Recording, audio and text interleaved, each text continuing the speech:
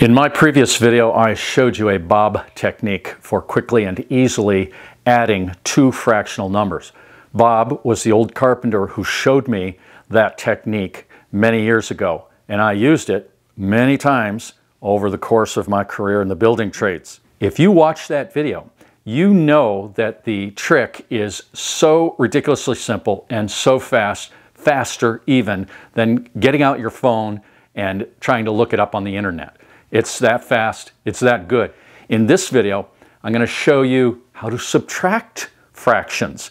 Bob showed me how to add real easy two fractions. He also showed me how to subtract two fractions. And I wrote down our example that I'm going to show you. 17 and 5 sixteenths minus 4 and 7 eighths. Can you do that in your head real quick? Well, if you can, you're a better man or woman than me. If you don't have the mental capacity to do that kind of uh, subtraction really quick in your brain, well, join the club and watch how Bob showed me to do this many years ago.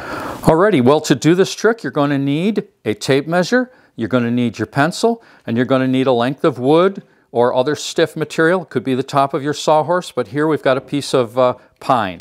And the example is 17 and 5 sixteenths minus 4 and 7 eighths. Now, you're going to want to watch this close because it happens really fast. 4 and 7 eighths. I'm going to hold that right on the end. The amount I want to subtract right here on the end. Then we're going to come over to 17 and 5 sixteenths. And that is one little mark past a quarter.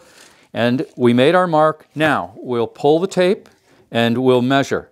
It's 12 and 7 sixteenths. That's the answer. It's that quick. It's that easy. If you missed my addition uh, trick video, go to my playlist at the end of this video. And uh, hey, I'll see you in the next one. Thank you for watching.